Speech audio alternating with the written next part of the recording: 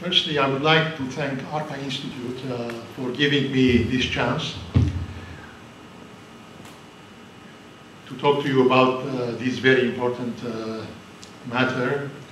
Uh, it's an important uh, phase in our church history. And uh, studying this period would enrich anyone who is inter interested both theologically, literally, and historically. And I would like also to thank especially Father, uh, uh, Dr. Hagop Panossian for uh, helping to organize uh, this event. Thank you.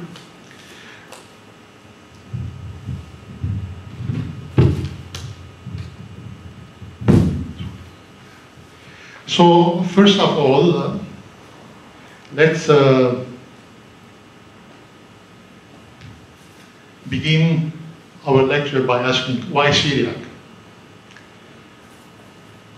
Undoubtedly, this question has risen in the minds of the important figures, theologians, translators, and cultural figures who worked during this period in 12th to 14th century Cilicia.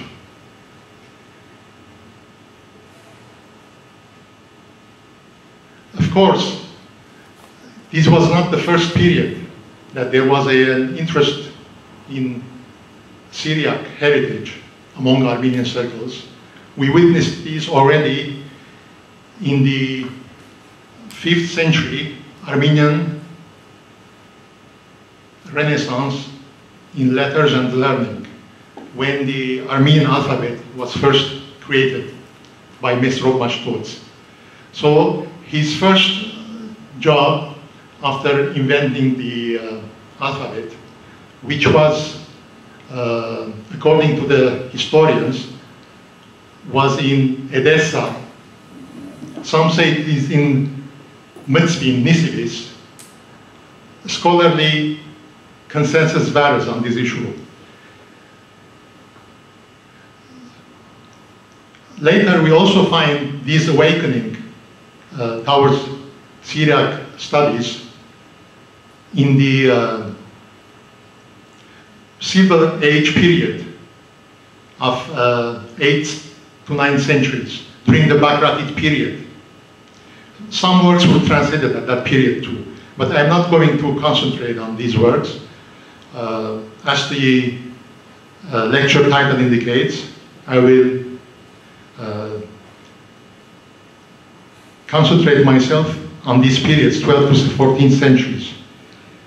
So uh, Syriac uh, is an offshoot, it's a branch of Aramaic, which, which is a West Semitic language. Uh, it's a language that uh, assumed a literary character. It began to be used in literature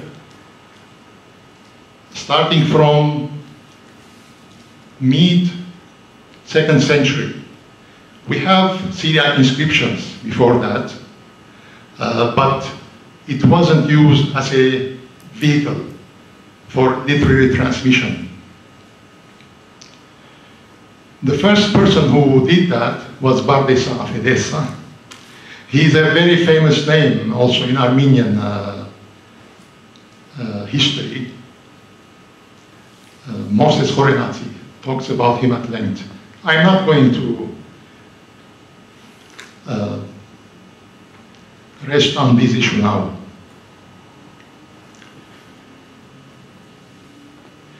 So Syriac is, has its importance not only in Armenian but also other uh, world uh, literature, primarily uh, because it's the oldest link that can attach us to the time of, uh, to the period just succeeding uh, Jesus himself. We know that portions of the Gospels were written in Aramaic, and uh, traces of that are found in the Gospels. So um, the Aramaic uh,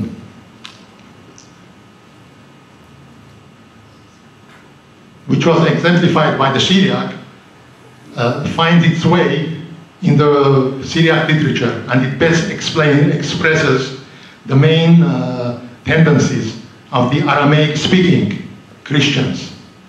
So we find there uh, kind of models and methods that were used in earliest Christianity and uh, in the period that is uh, transferring from early Judaism to Christianity, particularly Rabbinic Judaism.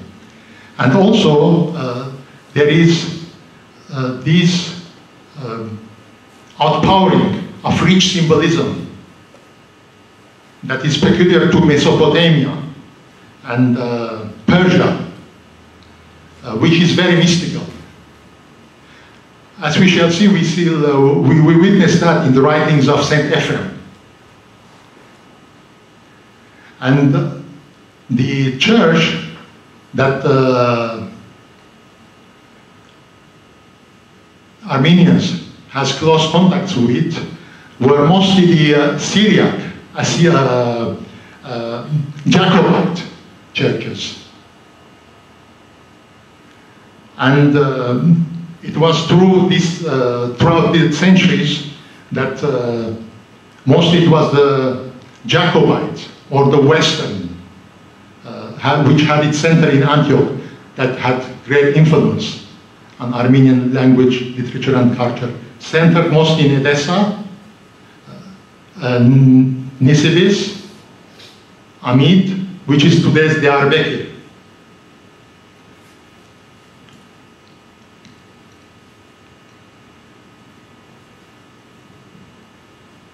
One important distinction that I have to make now is that sometimes people are really uh, confused. What is the difference between uh, Syrian and Assyrian? So, in Armenian we say Asori, and that's the perfectly correct term that can describe this ethnic group. Why so? Because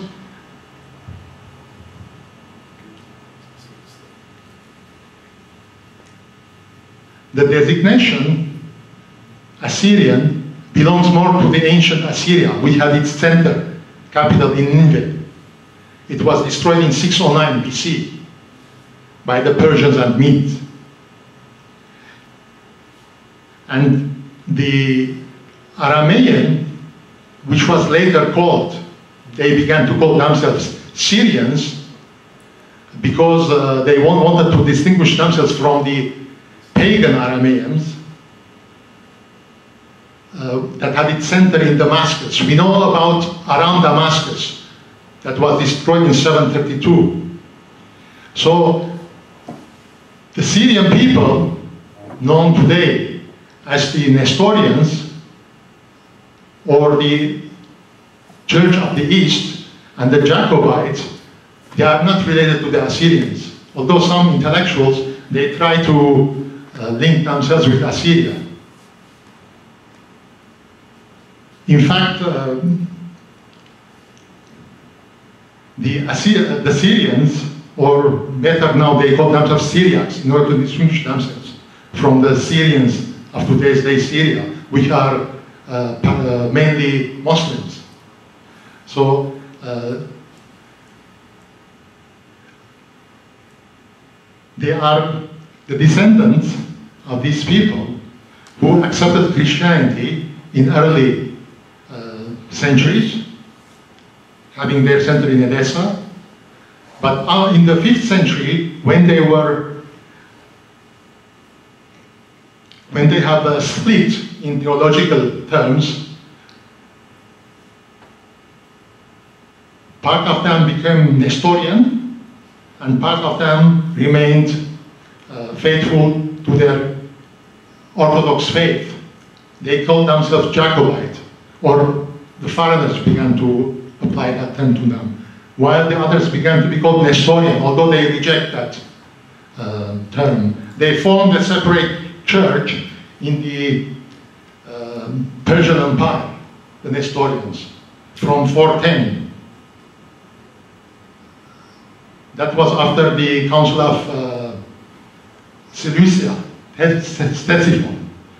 And it, uh, they, um, they ceased to have contacts with the other group of the churches, of the Syriac church, and they developed independently among themselves, having missionary activity more to the Eastern Asia, even to uh, Mongolia, China. So uh, the Armenians, because of the doctrinal issues, has closer contact with the Jacobite Syrians or the Syrians. So that is the reason why the Armenians had very close contacts with them because they were theologically very close to us and they had uh, a positive input when Armenian literature and language has its uh, first steps during the first uh, decades of the 5th century.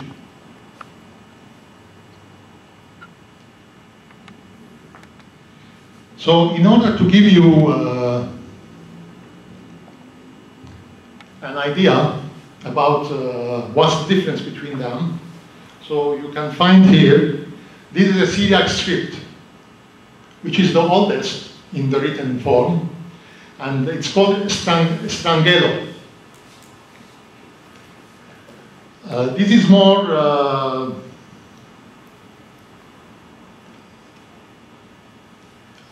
square type, although Strangelo itself means rounded. It's the oldest script used by the Syriac church. So at the time of Mesrop Mashtots, when there were translations from the Syriac into Armenian, this was the script that was translated from. This is used uh, nowadays mostly in, uh, in headings of liturgical texts. And uh, also it is used in, in academic editions in Western universities. Excuse me. Prior to uh, the Armenian uh, alphabet being created, Yes. services in our churches were conducted in Assyrian, weren't they? Uh, yes, Because Yes. people uh, didn't have something to read in Armenian. yes. And for example, if I'm not mistaken, the word rostume comes from uh, the Assyrian church, no? No, no, no. It, it is from, sorry, it's from, from Greek. Yes, proskyne, it's proskyne, proskyne to genuflate, uh, I, I to genuflate. Sorry, thank you. yes, to prostrate. Proskumen, the, uh, the deacon intones during the liturgy. So let us uh, prostrate. Uh, so, uh, but there are, uh, uh, that's a wide topic. There are many words uh, derived from uh, the Syriac into Armenian. Uh, for example, uh, Herachi Ajarian, numbers about uh, 104. 104. Uh, mostly, let's say, liturgical terms, like uh, kahana, tzom, fasting, kahana, preached, uh,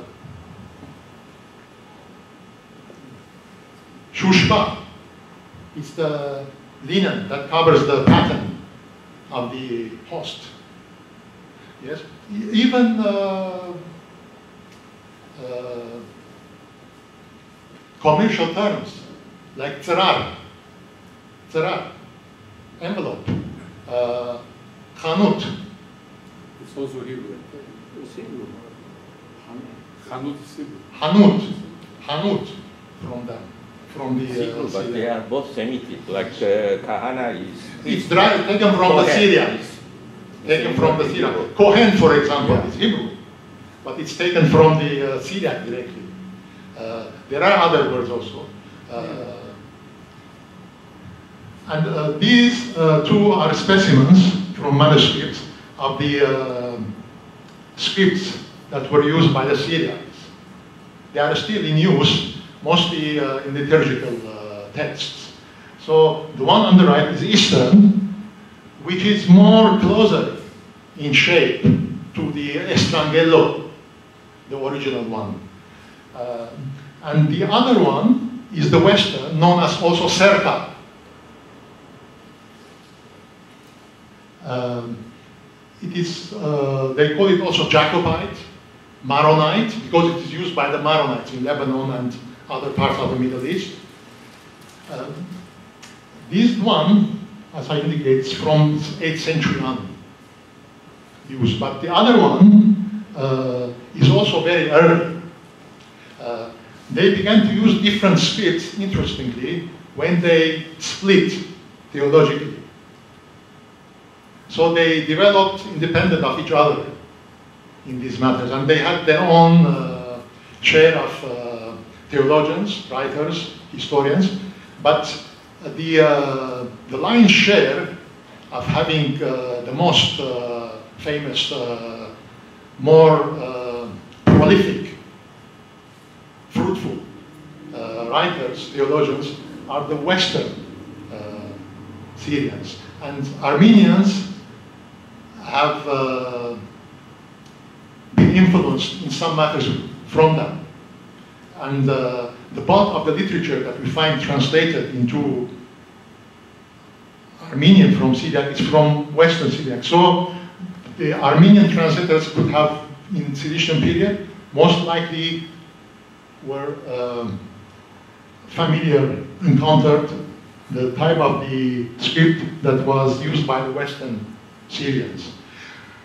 Um, interestingly, just as a parenthesis, I would like to say that the punctuation marks for the vowel signs that are used nowadays in Arabic and also Hebrew, they are taken from the Syriac. It was a Syriac influence. they began to adopt that vowel uh, uh, placement of the sounds soon after the uh, split uh, of the churches. And they wanted, of course, to preserve the uh, pronunciation of the language correctly, because you can pronounce the same word in the Semitic languages differently, depending on where you place the uh, vowel sign.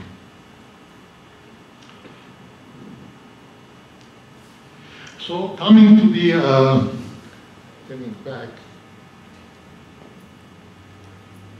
So that was a type of a, a, introduction in uh, matters of uh, scripts so that uh, you can have an idea what was it's like to read uh, Syriac text at that time. Um, in the in the Cilician period, uh,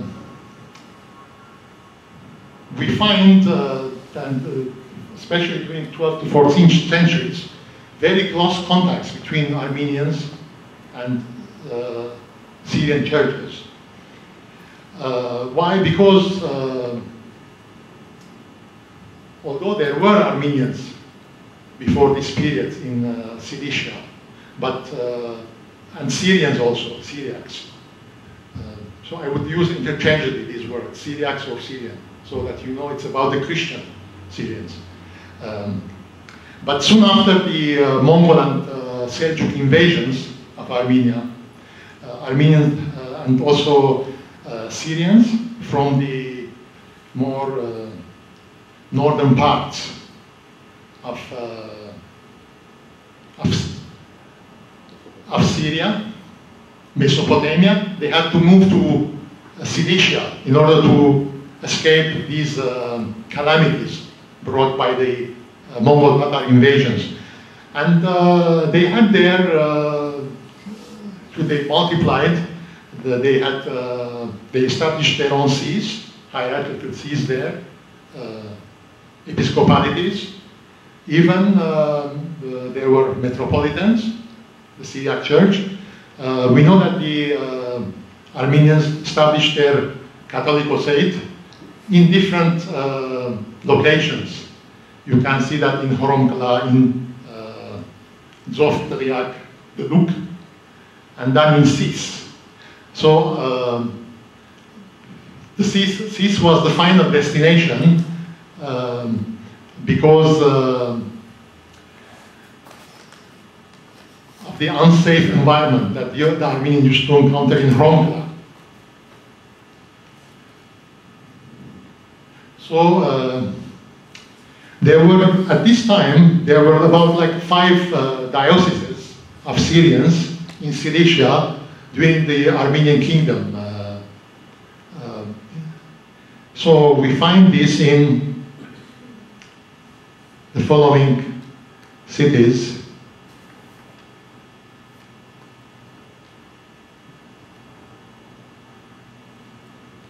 I think this better, uh, this one better illustrates. This is a little bit blurry, it's a little bit blurry uh, map, unfortunately. Uh, I couldn't get a better resolution than this. So it's, uh, there were five uh, dioceses at this period in uh, Cilician Armenia, belonging to the Syrian uh, Orthodox Church. So it was in uh, Adana. You, of course, you know Adana. It's, it's here somewhere here. It's here, yes. And it was, there was Marash, in Marash, which is a little bit this way. Uh, Germanic Marash. Anazarpa, which should be here, and uh, Sis, the capital Sis, and also Jehan. In the, in the 1240s, three more dioceses, Syriac, were added in this part, which was uh, the diocese of uh, uh, Rabban, and uh. Sorry, I, I mistakenly said uh, Marash in, instead of Tarsum. Should be Tarsum here, one of the five earliest dioceses, not Marash. Marash was added later.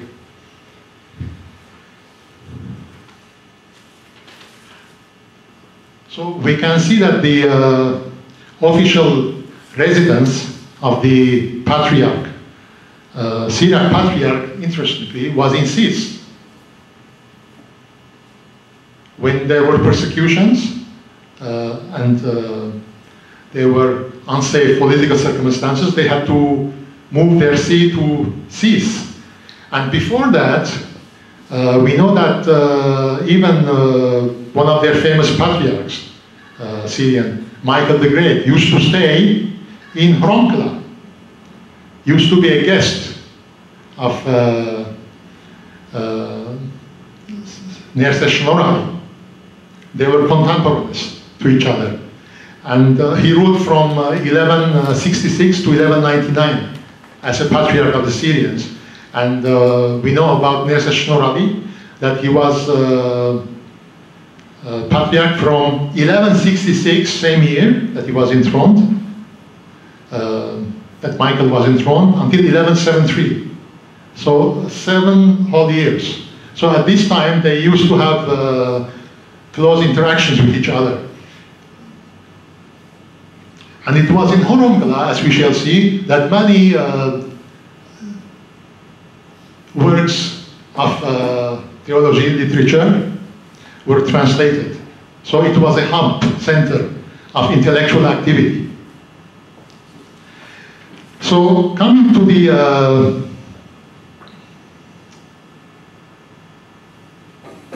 historical relations between them, uh, the Syrians and the Armenians, the interchurch relations,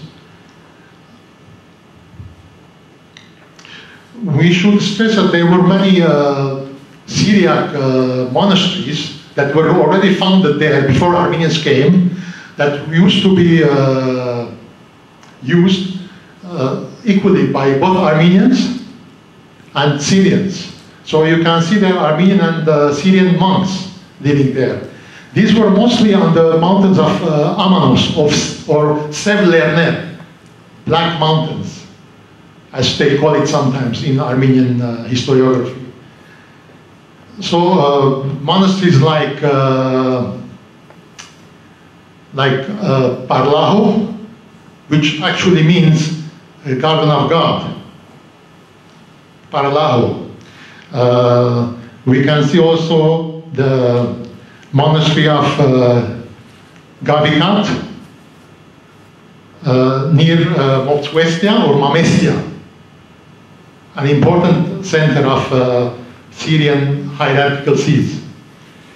Um, we also see um, such monasteries like uh, Shuri famous in Armenian history. Um, it was uh, one of the uh, main learning centers uh, of this period, where uh, even Catholicos liked to retire there in their old age.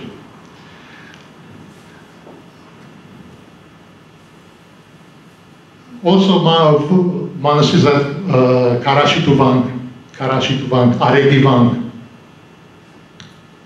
and so forth. So, coming to the historical relations and uh, ecclesiastical, so we know from history, this is related by the uh, uh, famous historian Michael uh, the Great, or Michael the Syrian. I'll talk at length about him soon. Um, that when uh, Toros, the son of Levon, was, uh, was freed, actually escaped from captivity from Constantinople in 1144, the first thing he did, he walked on feet to Mopsuestia, Mamestia. And then there was this bishop of them, actually metropolitan. Metropolitan, which means he, had, he was at the head of few bishoprics. So he gave them assistance, uh, not only uh, uh, not only in terms of uh, support, but also uh, financially. Not more, not only morally, but financially also. Uh, he even gave him, uh, he gave him money. He gave him to buy a horse, and he gave him, according to Michael the Great, uh, one of his uh, twelve of his men to go and uh, to conquer territory, to regain, to begin regaining his ancestral land that was deprived from. We also know that uh, for inter-church relations, Michael the Great sent, uh, sends uh, two of his bishops, learned bishops, in order to negotiate uh, theological issues with the Byzantines. So, uh, in these negotiations, uh, theological with the Byzantines and also with the others, Latins, the Armenians or the Syrians didn't uh, negotiate independently. So they were always together because they were of the same faith, Christological faith.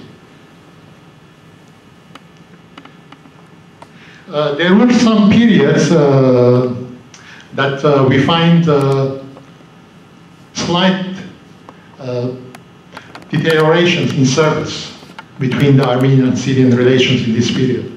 Uh, most notably in the, uh, in the end of 1180s and the beginning of 1190s, there, uh, there rose, came up a uh, very learned Syriac uh, Vartabit up there, priest, named uh, Theodore bar Wahbun, who was later became, who became bishop, claiming the uh, patriarchal throne of the Catholicosate, of the Syrian uh, Patriarchate. Uh, so he found refuge among the uh, Armenians, and the uh, Armenian king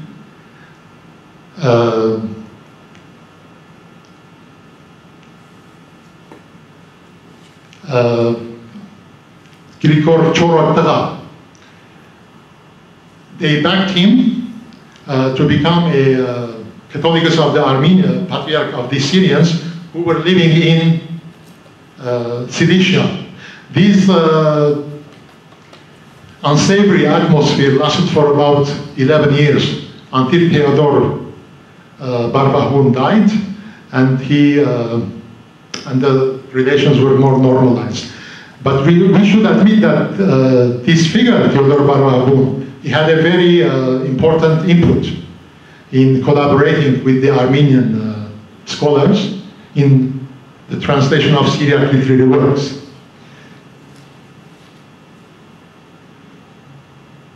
Uh, we know also that in 1198, Michael the Great uh, was also present at the coronation of Prince uh, uh Levon II as the king of Armenia, uh, king of Cilicia. Uh, he was there as the historian, 13th century Giragos Ganzageti, relates us. He says, I've made this translation from Grapar.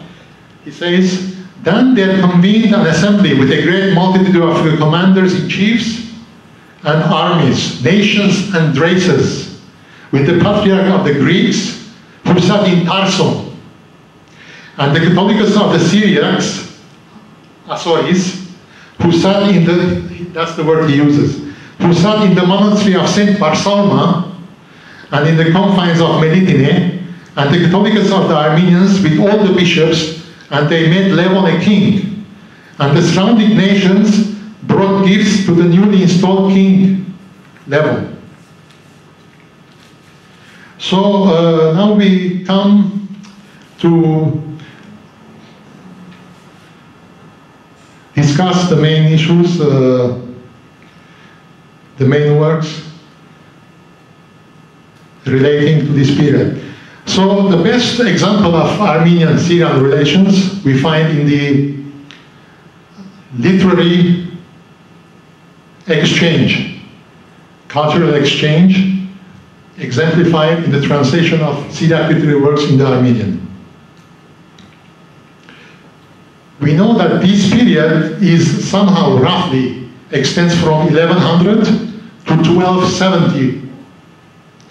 So during this period, um, there are uh, more or less very notable figures. I have chosen four of them with the uh, most uh, salient, most important contributions that they did in this field.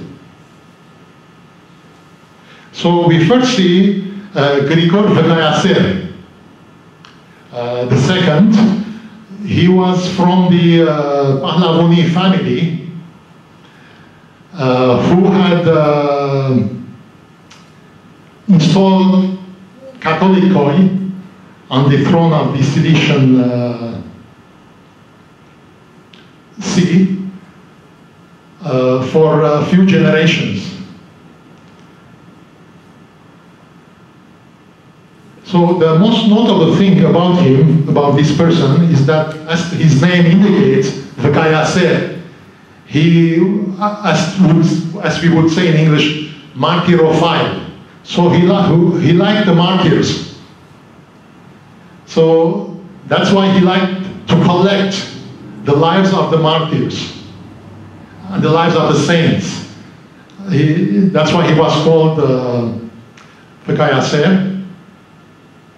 He was a very learned person and uh, his translations are not confined only to Syriacs. Actually, he also did trans translations from uh, Greek also.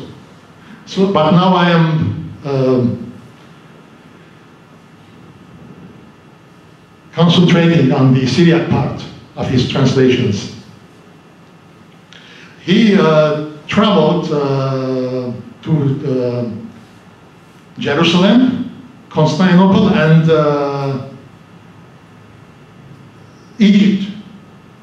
Very interestingly, uh, in these travels, he had the aim, uh, the objective of uh, collecting uh, writings, Greek and Syriac, about the martyrs and translate them. And we know about an incident that he uh, very shrewdly um, managed to uh, carry out somehow illegally uh, Greek texts from Constantinople. Uh, that was not allowed, manuscripts. And he used to uh, tour among the black uh, mountain Amanos Lerner uh, monasteries, also looking for the same type of literature.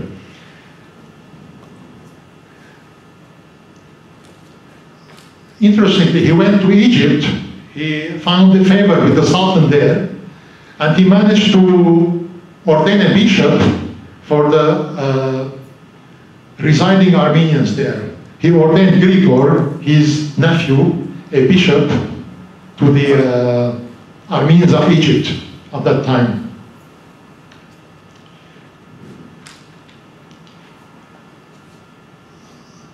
So, uh, as we see the list, his uh, input in this area includes many words, such as uh, the Vita, the life of Ephraim, translated from Syriac. Also, the uh, work commentary of Daniel Assalah on the Psalms. This is the longest, the widest, the most uh, profusely uh, done work in Syriac under Psalms. It's a work by a 6th century Syriac theologian. It's so big that it is partitioned into three parts. We know that Psalms are 151. So each 50 psalm is separate book. And uh, it exists completely in Armenian, only in Armenian.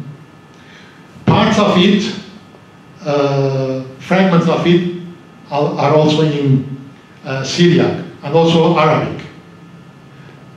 Otherwise, it's completely uh, preserved in uh, Armenian, and there is a uh, uh, edition of this still undergoing by a monk in Echmiadzin, a comparative critical edition of this work, which is a very important one for uh, Oriental Syriac uh, and Christian studies in general. So we see also John Chrysostom's work on the Gospel of John. Interesting, this work was first translated before him from Greek, but he found it deficient, so he ordered a new translation from the Syriac. They compared also to, with the Greek so that they can have a smooth translation. And uh, Life of Barsuma, very important saint of the Syriac uh, church. Uh, later it was translated by Nerses Shnorhali. Uh, we come the last uh, two uh, in the list, Ephraim the Syrian. As you would know, Ephraim Syrian is a very important figure, uh, not only in the Syrian tradition, but also in the whole of the uh, Christian tradition. And he's much loved in uh, both, Arme- both Syrian, Armenian traditions, and also Greek, Latin, Georgian, Arabic also and uh, hardly generation passed actually after his death because he died in 373 AD. Uh, he was born in 306, so he was about 66, 67 years old he died. That um, almost the, uh, I won't say the entire, but a bulk of his uh, literary legacy were translated into Armenian by the first translators. Although recent research uh, reveals that uh, we want to ascribe, uh, we, know, we want to give a lion's share of these translations to the uh, golden era Armenian literature period, but uh, many of them were also translated during the sedition period, as we would see. So Ephraim the Syrian and John the Baptist and Canon of the washing of feet, uh, uh, these are, this belongs more to the genre of uh, uh, as we would say in Armenian. Uh, they are kind of uh, versified uh, hymns. They were written to be sung, but these uh, notes were uh, later lost. Uh, so scholars now can't really say how were they sung, because we know Ephraim that he composed these hymns in order to be sung in the church to counter those songs written by, Bardaisan in the late second, early third century, which was very uh, predominant in the Edessan uh, church of his day. And uh, Bardaisan was considered a heretic. So in order to uproot this heresy, uh, these or heretical tendencies from among the people, he uh, wrote these hymns. So there are about 400 hymns actually written by him. And uh, he is considered the most prolific, the most uh, fecund, say, scholar, uh, writer in the Syriac tradition. Uh, a historian, for example, Sozomen, of uh, 4th century, he says that he composed more than 3 million lines of text. Many of his writings survive in Armenian. So Life of Ephraim, we have the Syriac version of it. But, uh, you know, in order to compare the beauty of the translation, you have to read the, the Armenian, and if you know Syriac, you compare it with the Syriac, so you know, you can then understand that uh, the uh, Armenian translators were very meticulous in, uh, in observing uh, both beauty of style and diction and vocabulary.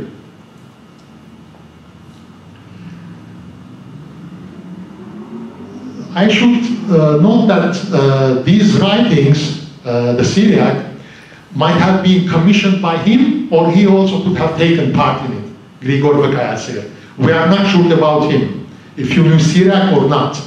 But we knew for sure that uh, this was more a collaborative kind of translation. When a Syriac scholar did a translation from Syriac into Armenian, or they both collaborated. And another person who was an Armenian, he revised it, he smoothed it, he made it more uh, compliant to the Armenian uh, diction and language.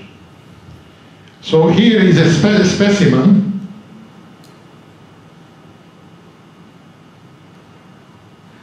of uh, one of the editions, early editions of uh, the Syrian's works, uh, which was uh, accomplished in Constantinople in 1767. This is a prayer of uh, Saint Ephraim. He is famous, uh, more famous among Armenians, as a uh,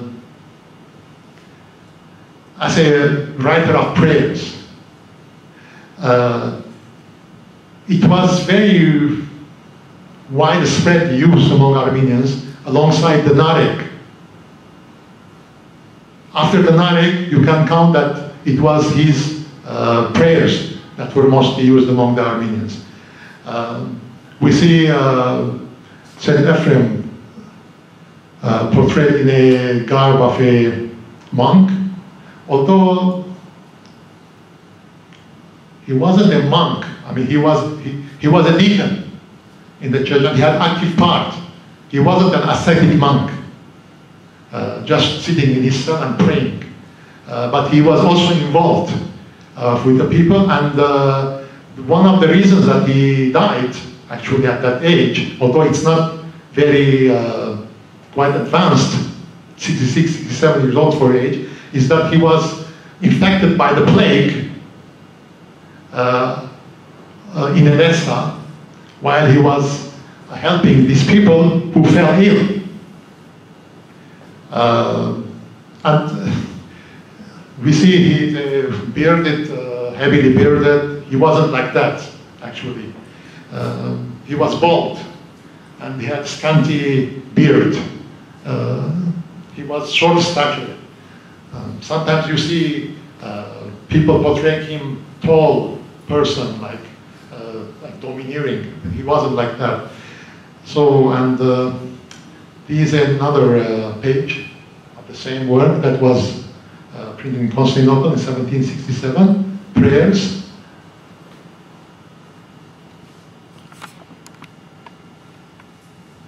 And this is a, a title page and the beginning uh, uh, chapter of the uh, commentary on uh, St. John Chrysostom's uh, word commentary on uh, St. John's Gospel.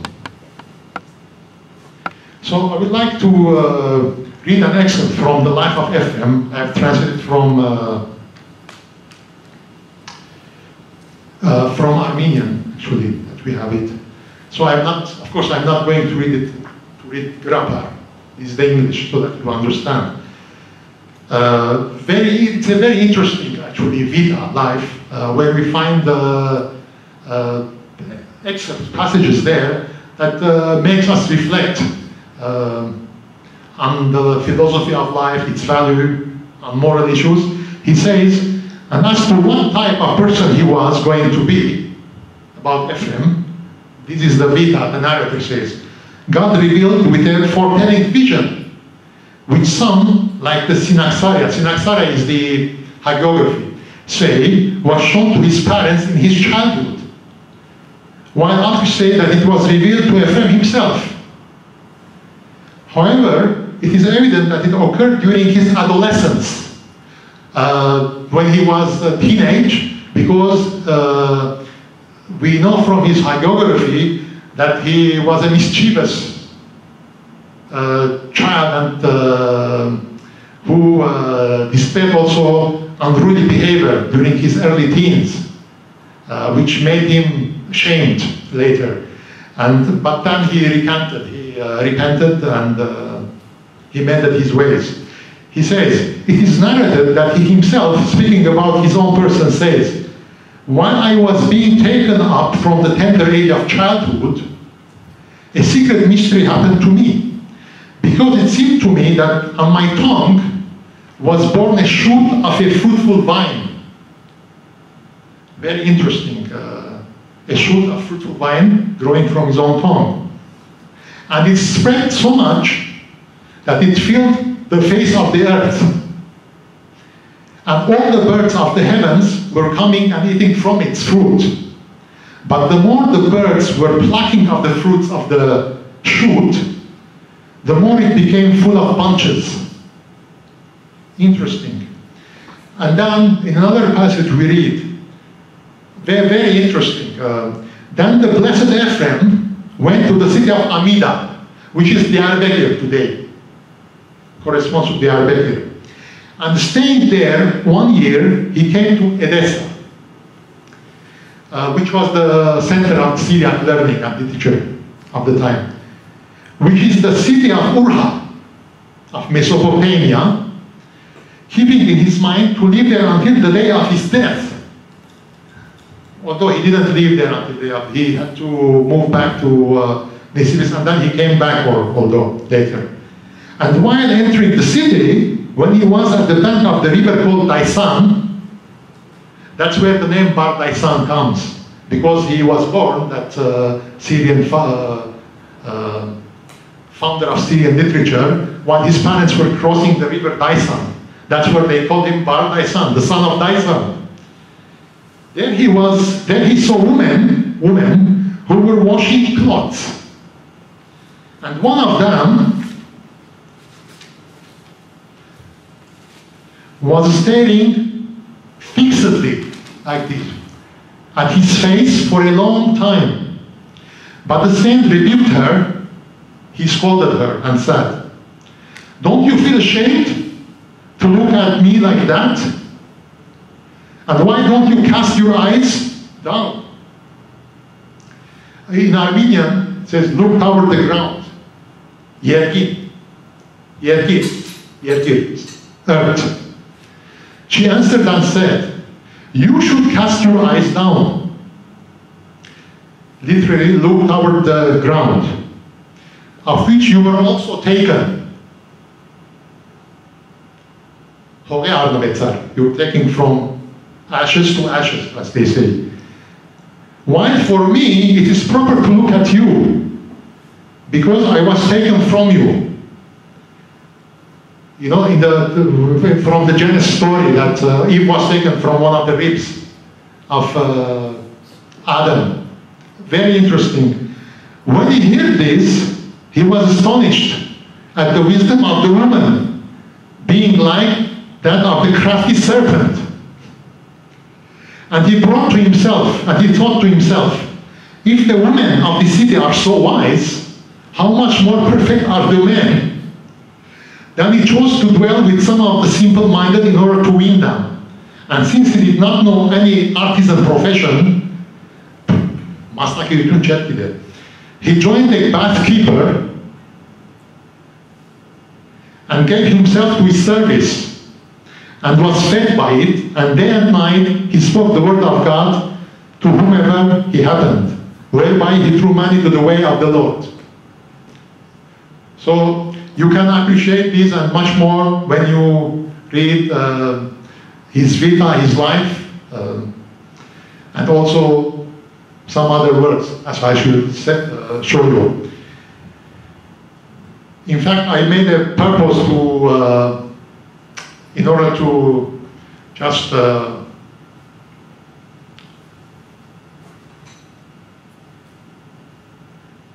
quench the dryness of the lecture, uh, I chose some passages from different writers so that you can understand uh, why the Armenian scholars uh, wanted to translate these, uh, this kind of literature and leave it to the next generation. So the next uh, writer uh, contributor in this area that we come is the famous known, famously known Nerses Shnorhali. Uh, he is also from the Pahlavuni dynasty. Um, and uh,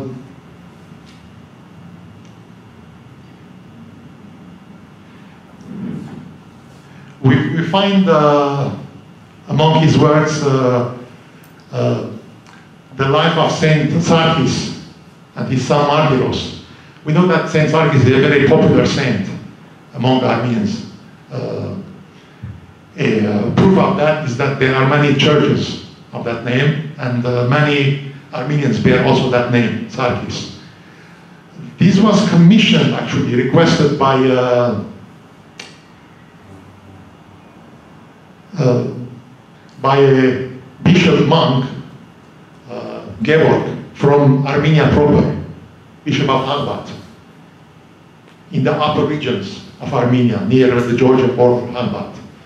So um, he knew that the Armenians have close contact with the Syrians, and he asked him uh, for a translation of that work from Syria into Armenian. And also we have from him the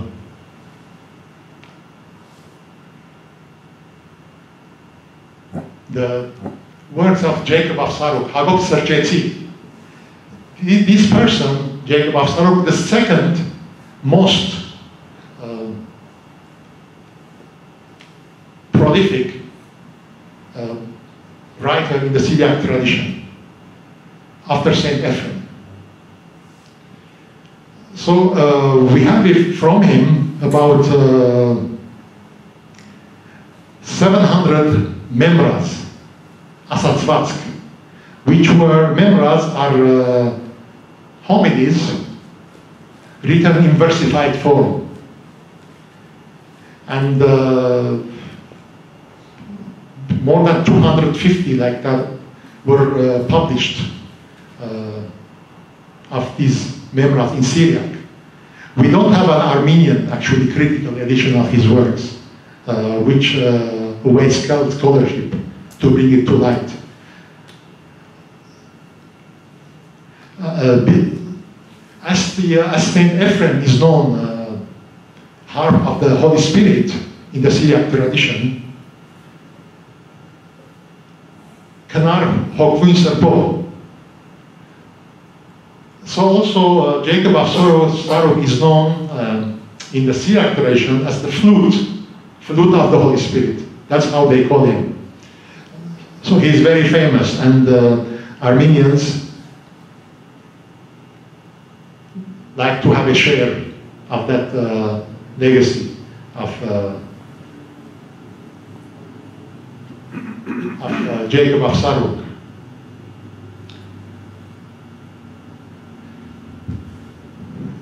I haven't uh, chosen any excerpt for this because I didn't find any under my possession at this time to give you a translation, but we'll see next from uh, Nerses Lambronatsi,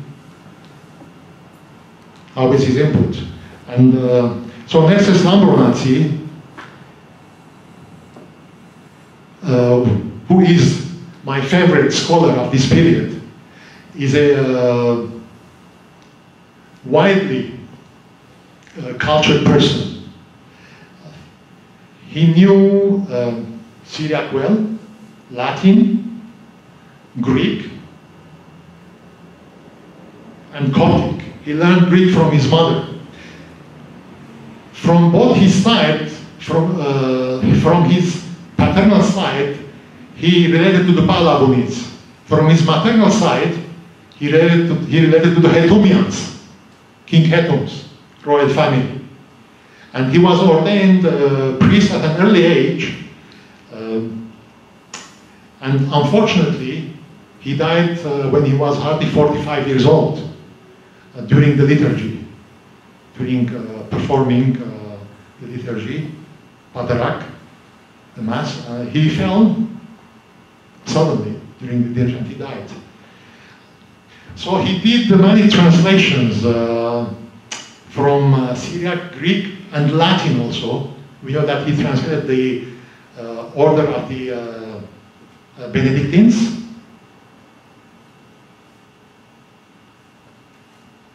The, the canon of the Benedictines, the order. And uh, one of the most notable works that he did is the, the Syro-Roman law book which is called uh, Asura Hromiagan Dalastalakirk. It's uh, not about uh, uh, canon law, which is uh, ecclesiastical church law, but it's about uh, law between relatives, inheritance, between uh,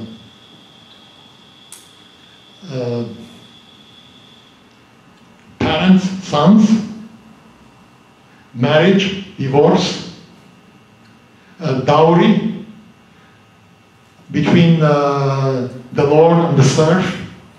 So it's more about civil law. So uh, it is assumed that there were translations before that, but uh, he made a fresh translation of it, and he also amended it, he edited it in many places. Uh, he did that with Theodore bar Wahbun. That's the same person who was at this time uh, staying, residing in Hromkla, and uh, where bulk of the literary activities were going at this time. And he also helped uh, Nerses translate his work. We know about this work but it was formed in uh, Asia Minor uh, in the uh, between 476 477. And when you look at the at, this, at the title page of the Armenian version, because we have three versions of this Armenian, Arabic, and uh, Syriac. The Armenian is not like them, it's different. Uh, it is more uh, adjusted to the Armenian uh, circumstances and demands. That's why we it's not uh, very clearly uh, legible from the PowerPoint project projection, but uh, we see that it's called Oren Takavorats, Konstantianosi, Theodosi, Yev Levoni. These laws were uh, compiled during the breakup of the East, uh, of the Roman Empire into eastern and western parts. And it was used in Asia Minor by the Syrians, by the Greeks, and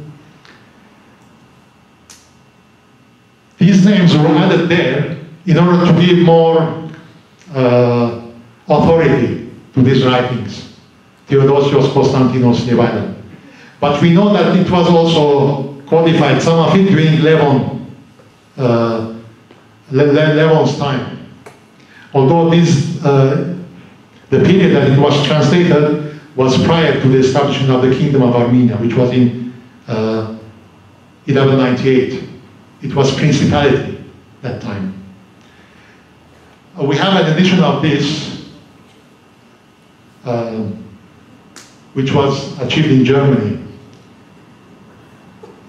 uh, by Brunst and Sachau. And uh, it was around 18, 1894. And later, these same laws were used by the Georgians together with the laws of Mkhitar Gosh.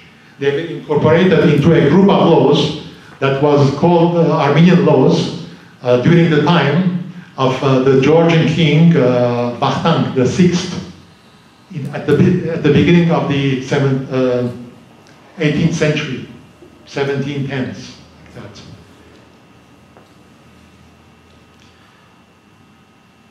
So the, the Armenian version is unique in its uh, additions and emendations. So we find this, for example, these, uh, these canons. Canon 45 says, now King Levon has set a law that after the blessing of the nuptials and the union, and the union of man and woman, if the man divorces his wife without any reason, he should give her all the dowries which she brought and the wedding presents as it was written in the missive, the letter, legal letter, that was inside them. And if the woman leaves her husband without a cause, the law rightly judges that she lives without dowries, and by law, this will be, this will be left with the man.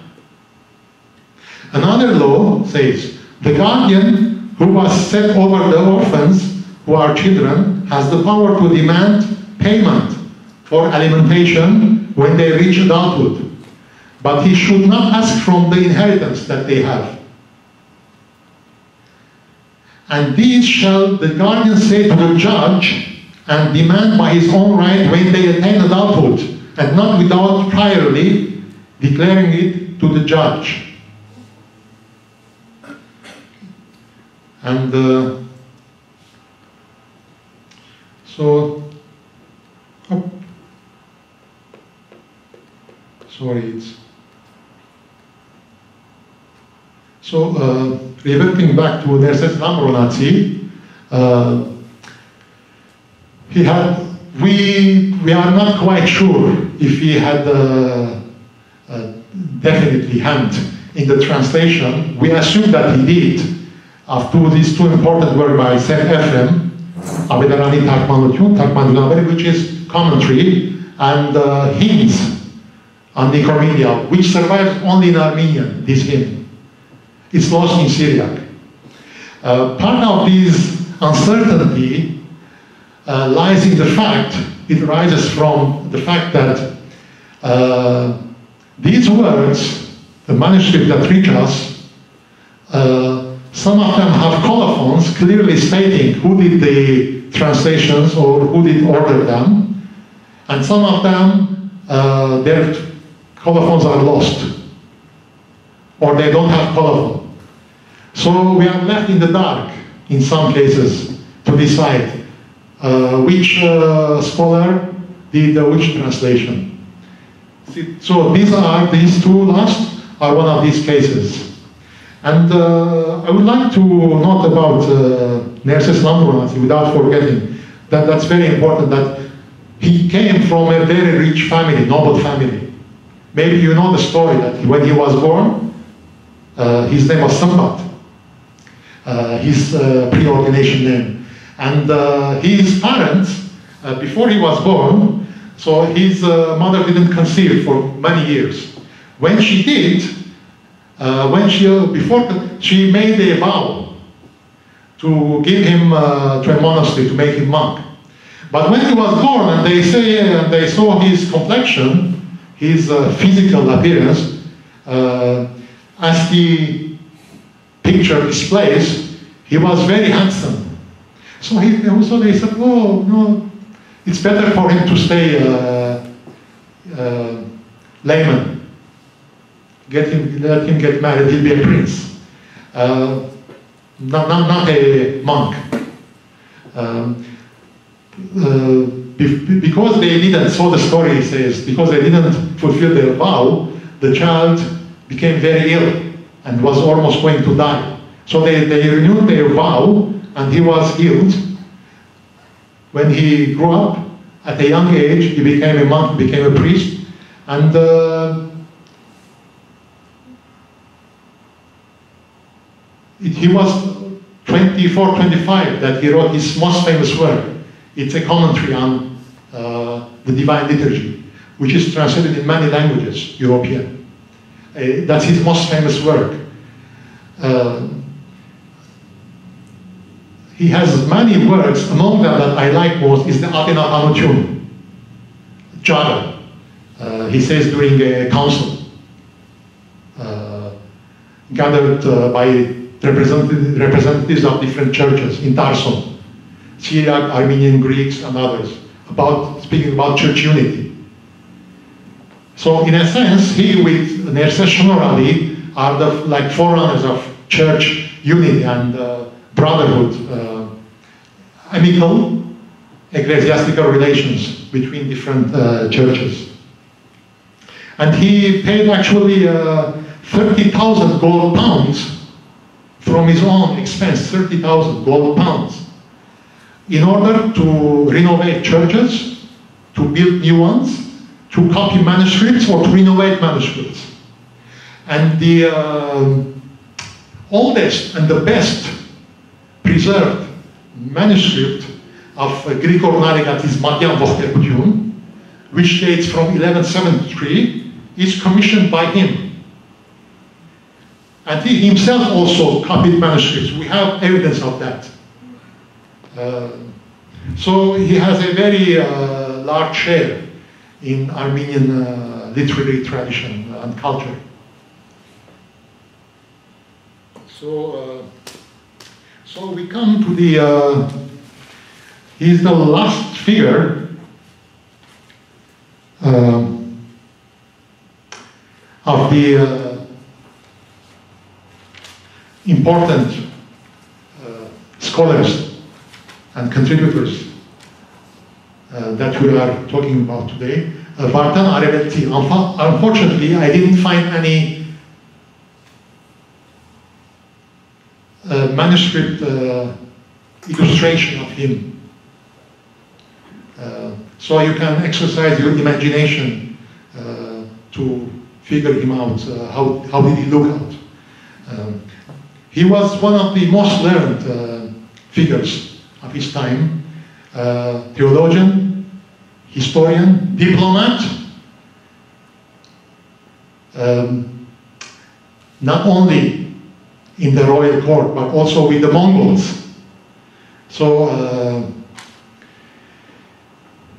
he had to travel uh, to the Mongol uh, uh, court in order to negotiate a treaty whereby the churches are being lifted up from uh, heavy taxation. Um,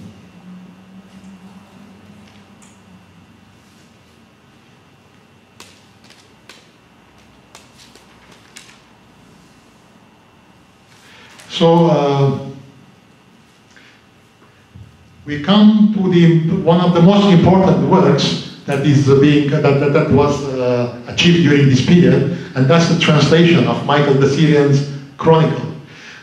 This is the longest and the most extensive chronicle that you that was uh, done in, during the Middle Ages. You cannot find anything like that, neither in the uh, neither in the West nor in the East. So. Um, I, I have the Syriac. It's like uh, the one that was published by uh, by Chabot, Jean-Baptiste Chabot, the French uh, scholar, in, from 1894 to 1921 in four big volumes. So the, the one volume, which is a huge size, has like three, four columns, depends on of text. About uh, it's about 800 pages. Um, and the other three uh, volumes have the French translation. So uh, the Armenian one that we have now uh, is all is like uh, roughly like one fifth of that work. This work is a very important source uh, for the history from the rise of Islam uh, to the Crusades. So anyone who is writing about rise of Islam and the period following until the time of the Crusader movement, so has to use this uh, source. It's a very uh, invaluable source for study uh, of this period. And it also preserves uh, sources, writings of many uh, historians that have been lost. So he cites that, oh, this historian says like this, and then he comments on it. We don't find that the, the writing of that historian is lost. So his work is also of a primary source of trying to reconstruct the works of the other historians. And this work uh, was used actually uh, consulted by NASA, NASA, the uh, Space Exploration Agency, uh, because they want, uh, for their efforts to study the pattern of climate changes. Because in this work we find information about changes that happened uh, on the planet of the Earth, uh, primarily during two uh, important periods. It's in 6th and 7th century, because of the eruption of uh, earthquakes at the other part of the world, at the uh, um, at the Western Hemisphere. So it's a very important source uh, for um, uh, study, uh, not only history but also of climate. Uh, the Armenian is roughly one fifth the translation, um, and it was done actually with the help of a scholar named Ishoch. Armenian um naming is, is the Ishoch. That's how he's named among the Armenians. So the Syriacs would have definitely called him uh, Ishu or Yeshua, Jesus. Um, and uh, he was a, uh, a, a doctor from Melitene Uh, that's what uh, he was a physician. That's what Bar Hebraeus, the famous uh, uh, Syriac writer, relates to us. Um, he is also known as uh, Ishuaf Hasankeyf. Well, maybe it's a city near Melitene, that's where he came from. And uh, he moved to Cilicia at an uh, early date, uh, serving the king as a physician. Uh, we know also from uh, a church that was built in uh, dedicated to the Saint Barsauma, the saint that we talked about, uh, that it was uh, built by him. And uh, the same writer says that when the uh, when Sis was burned by the Mamluks, only this church miraculously survived a destruction uh, in 1249. Uh,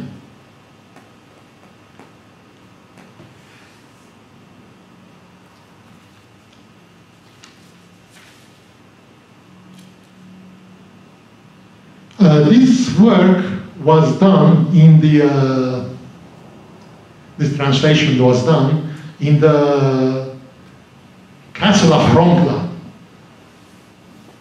uh, which was a very uh, impregnable castle. That's why it was used also as a Catholicosate. Uh, before these areas fell into the hands of the uh, Seljuk Turks, and then the Catholic saint had to move to Sis,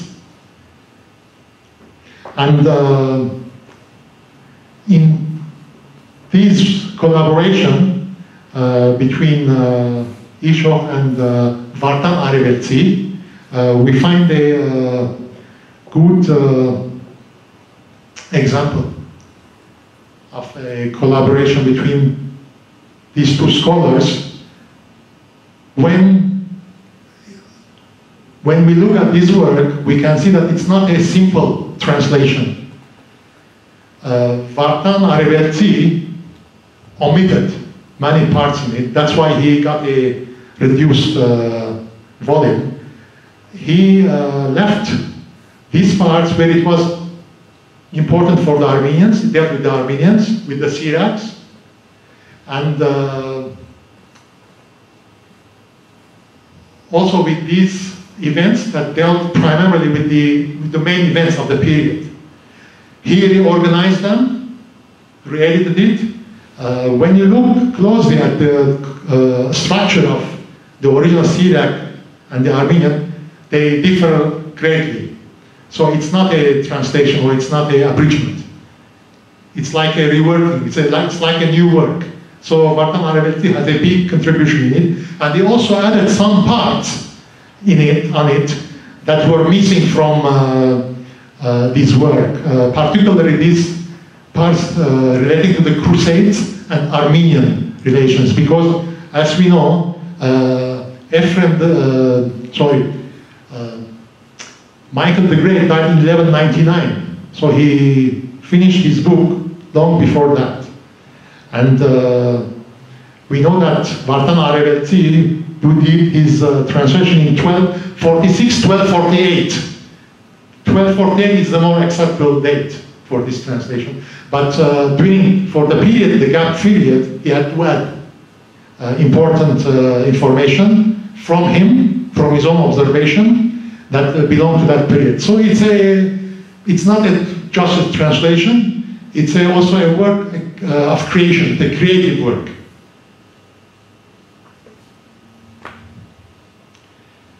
And this was done uh, by the order of Catholicos Constantin Parterbertsi, actually. Uh, he ordered that in the Catholicos residence itself in Hromkla.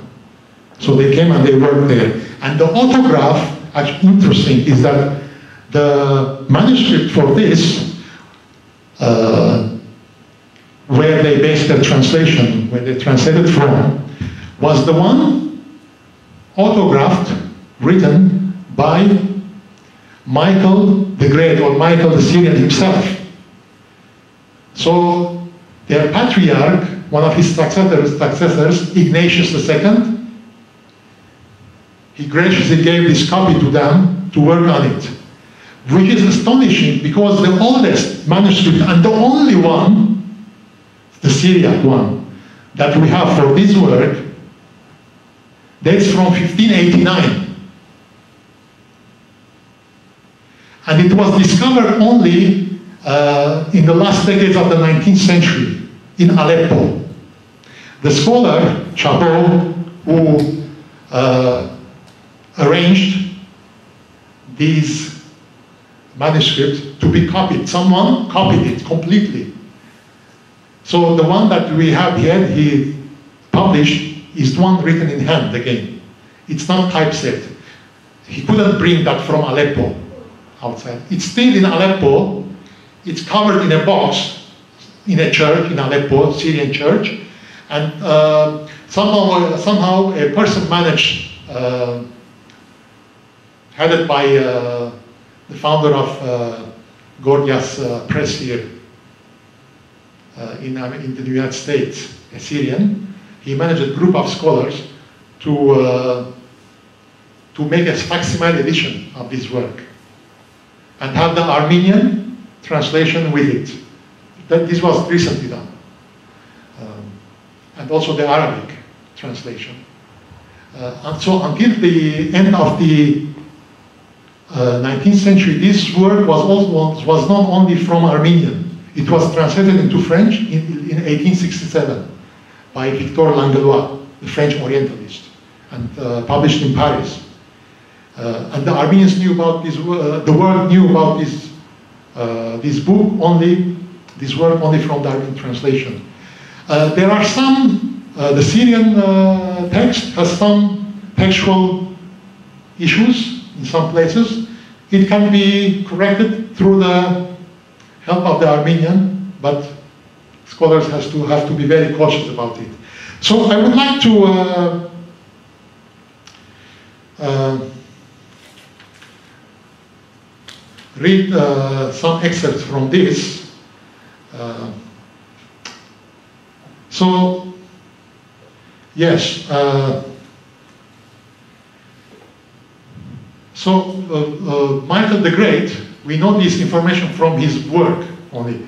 Uh, this is also reflected in the Armenian translation because it's important. He talks about how Toros escaped from the prison and came regain his land as an ancestral land. He says, as I have already shown, Levon the Armenian was captured by Ioannes, king of the Greeks, and took him to Constantinople. I did this translation from the Syriac, especially for this. And part of the land of Cilicia remained with Greek, and part of it in the hands of the Turks. That when King Ioannes died, Levon himself died too.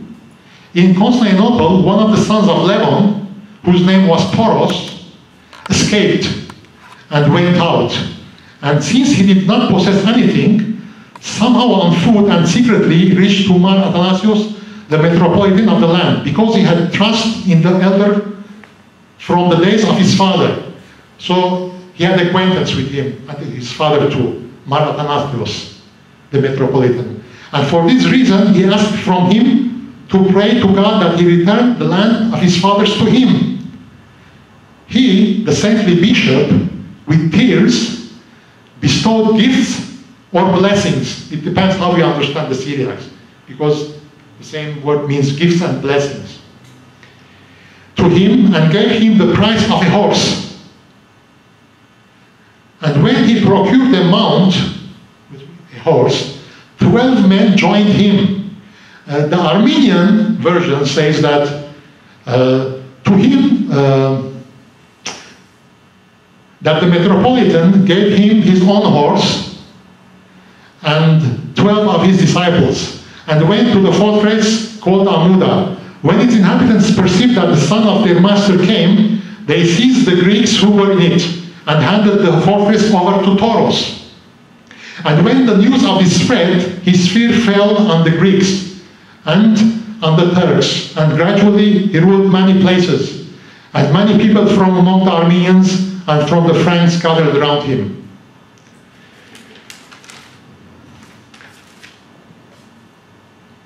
So another, in order to spare you time, I'm omitting the other passage. Uh, so I'm going to the last part. Uh, these are also the other uh, parts of the these are the translations that he did. Uh, not with Ishoch, but with himself or with other, by himself or by with other uh, Syriac scholars. Uh, like the profession of faith and on the order of priesthood, these works are always attached to the work of uh, Michael the Syrian's Chronicle. So in the manuscripts, they're always together. You, you rarely find the manuscripts, maybe uh, among the 40 or more, few ones that you find is the Chronicle alone. So they are always together in the manuscripts. Uh, and uh, Jacob of Serugh's uh, uh, Memras, Jar, and uh, Tatios Yevapkar, uh, King Abgar. Uh, so he had, uh, for his uh, collaboration, Simeon, Simon, uh, the, the Syriac, uh, for these last two, while for the others, he had Isho or Isho, uh, the priest. The physician. He was also a priest. So this is a an Armenian edition of the uh, Chronicle uh, that uh, appeared in Jerusalem. There are two versions of that of this work. So this is the, one of them from 1870. The other is from 1871. They don't differ much, but they seem to have uh, happened to have two versions lately uh, in the sub subsequent uh, centuries. So it's the uh, history uh, uh, of the world from the creation up to the time of Michael the Great. So we come to a very important chapter in the, this cultural exchange of uh, Syriacs and uh, Armenians uh, relating to the uh, medical uh, treatises.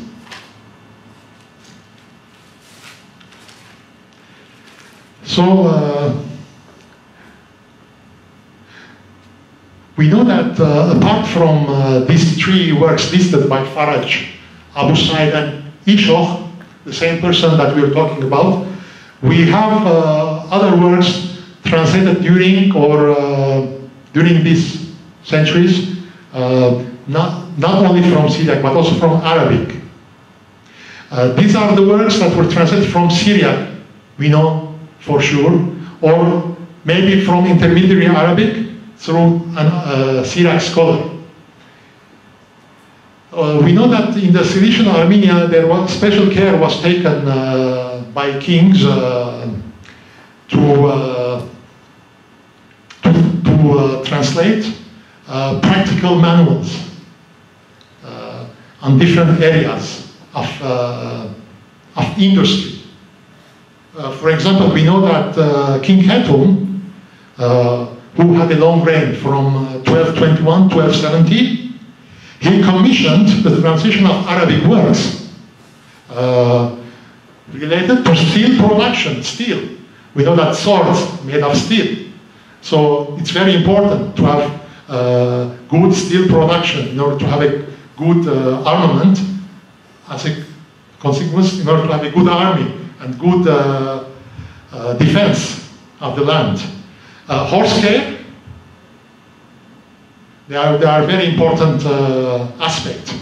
Uh, and uh, also sword, sword manufacturing, practical manuals and sword manufacturing, and astrology for, for travelers, for fishermen,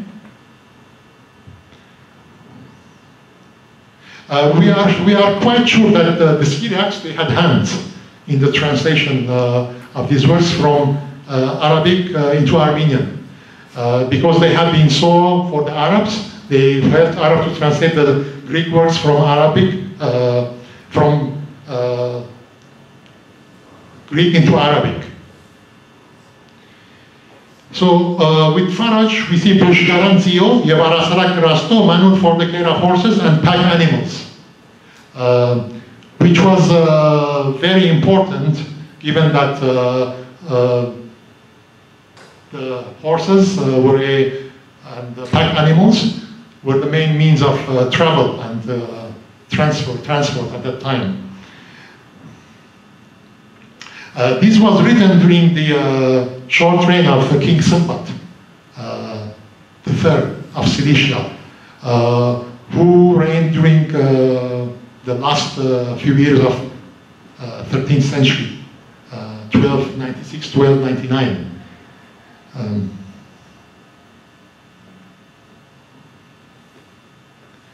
yes, he did. He used Arabic sources for this.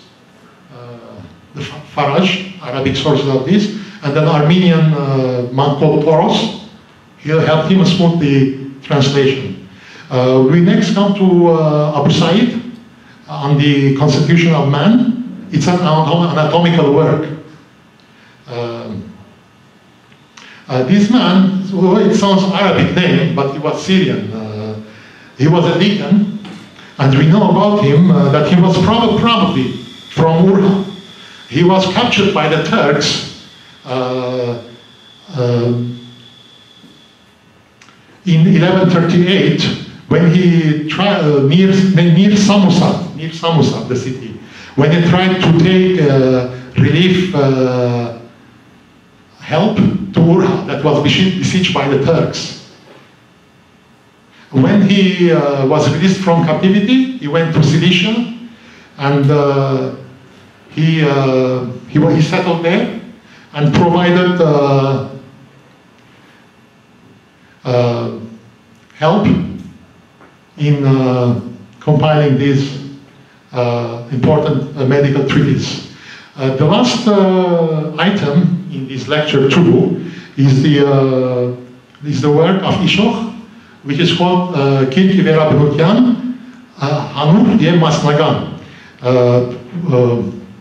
It's a it's called book on nature. It's work on, on physics or natural philosophy, as it was called then.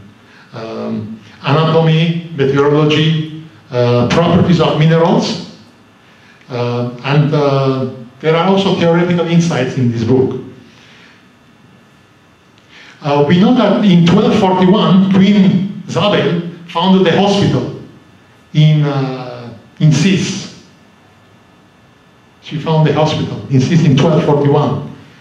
Uh, we can assume, uh, quite on uh, fairly logical grounds, that uh, at about this time, uh, came from Mediterranean to Assis in order to uh, render his service in this hospital. Uh, and uh, because he was a court physician, he was also given uh, the permission to build a church dedicated to Mar Barsauma in Sis itself.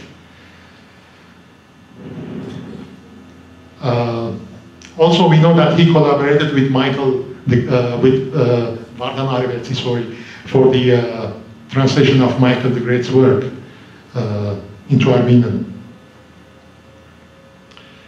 So, uh, it is interesting. Let me read you an excerpt from his work. Uh, in the following description of force and motion in nature, Ishoch employs the same analogy as he later found in the manuscripts of Leonardo da Vinci, where he resembles nature to harp, while with El with him it is to lyre. lyre. He says, and nature became like soul, and the elements like materials, and the ones composed of similar parts as instruments, and animals and plants and the minerals as works. And an example of them is the lyre, which is composed of wood and wire and of hands, which moves it, and is known from its sound that it works.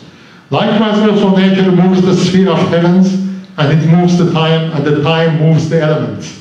And they move the animals and the plants and the useful fossils.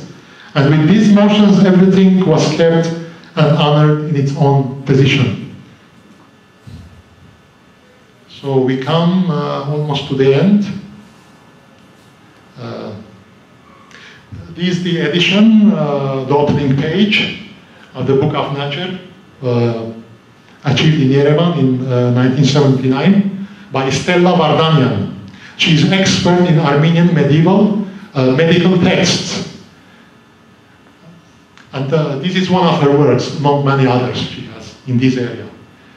Uh, as you see, it's a critical text uh, with the variant readings in the notes below. And uh, partly speaking about my work on Maruta, uh, this is one of the manuscripts that I have used um, until when I recently finished my doctoral thesis and I already submitted it to my uh, doctoral supervisor in Louvain.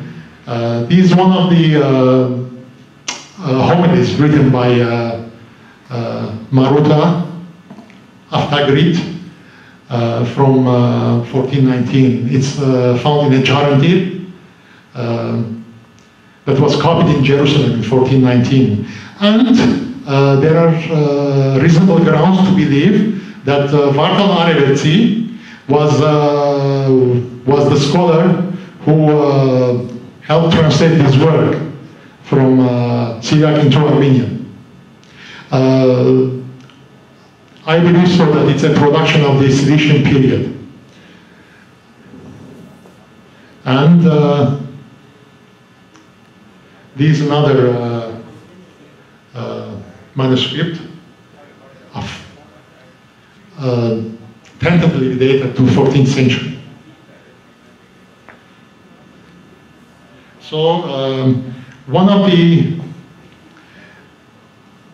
in one of the reasons behind the uh, cultural transmissions from this period, from the Syriacs to Armenians, is that uh,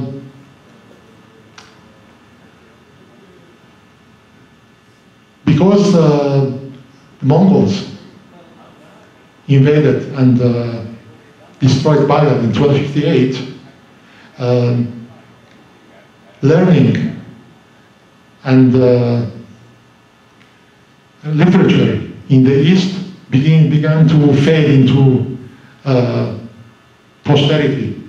So the reason that we see that uh, the Syriacs were very adamant to hand over the, their heritage and culture to the Armenians through translations is that they were sensing that almost they were uh, in an eclipse, uh, knowledge-wise and uh, cultural-wise. Uh, because after uh, Bar Hebraeus, who was uh, who is considered who is considered the greatest, the latest the biggest figure in the Syriac culture, uh, literature, and uh, theology and philosophy, and also historiography, we don't find uh, any more important figures after him. He died in 1286 in Maraga, actually, and in Nakhichevan, Maraga, Nakhichevan. Uh, and that's why we see the Syriacs contrary to the 5th century when the Armenians used to go to Edessa, to the Syrians, to accept, to get knowledge from them, now is the Syrians are the ones who come to the Armenians, offering them their help, uh, uh, their expertise and their knowledge. Um, and uh,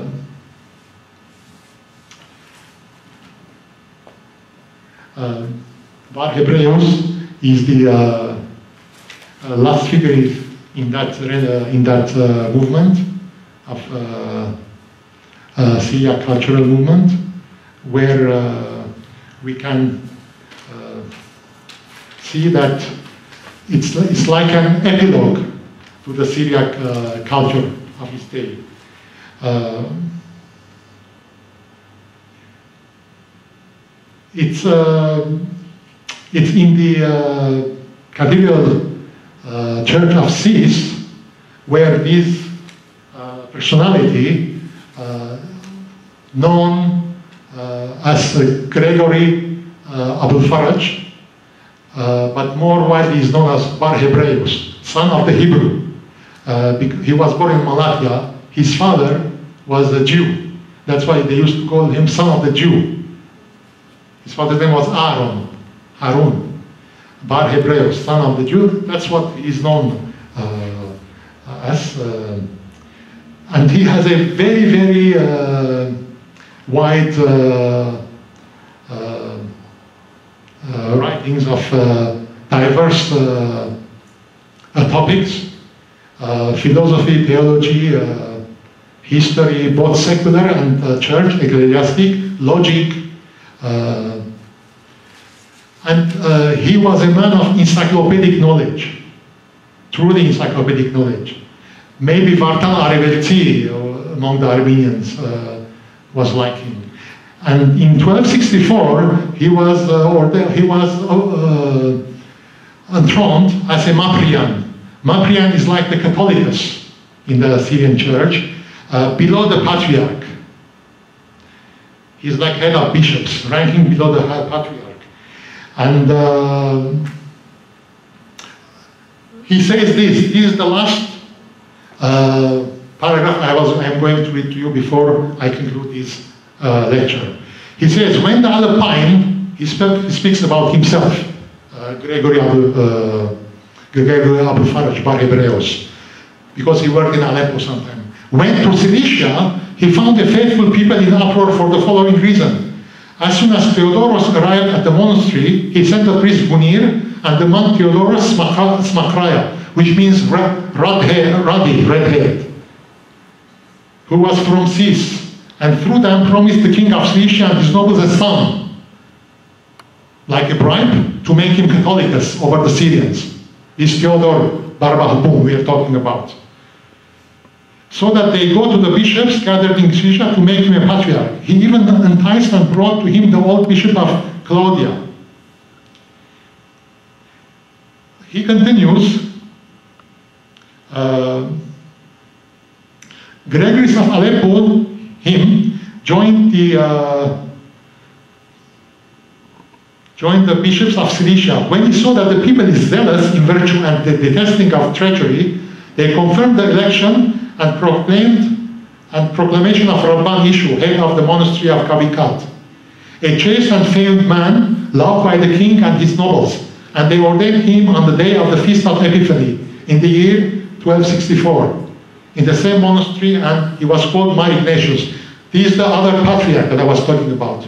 Uh, so, uh, and after the consecration of the patriarch was concluded, the patriarch and the bishops took care also to set a Mafrian for the east, which for a long time was deprived of a shepherd. And since they knew that long ago the late Mar Ma'adani chose Gregorius of Aleppo to become a Mafrian, it's about him, himself, he also informed the Easterners about him. And in his many letters, he called him the chosen one of the East. He received their common consent, but by reason of the turmoil caused by the Mongols, Mongol forces in Assyria, his mission was delayed. So he, he, he was supposed to go to the east, but he couldn't because of the Mongol uh, invasions. They did not change the appointing, but to him alone they entrusted the superintendence of the east. And the patriarch came with bishops to Sis. Uh, actually, this is from his Syriac work, which is called uh, Ecclesiastical Chronicle. I did this translation especially for this lecture to English. Where also present King Hetom in Sis, his sons and his nobles, some bishops and Armenian doctors, Bartabets, and the, and the multitude of people in the Catholic Church of Mother of God, which is the Sur Aswazin Church in Sis. And Gregorius was proclaimed the Mafrian of the East. And in that day, the Mafrian delivered the homily, that's about him, on the high priesthood from the following words of the Psalms verse You have created me and laid your hand upon me. While Theodoros Smakraya, which, which means red haired in Syriac, curious uh, you know, epithet, last name, translated into Armenian. interesting Syriac scholar who translated to Armenian at the same time. Indeed, that day was a celebrated day. Thank you. That was all.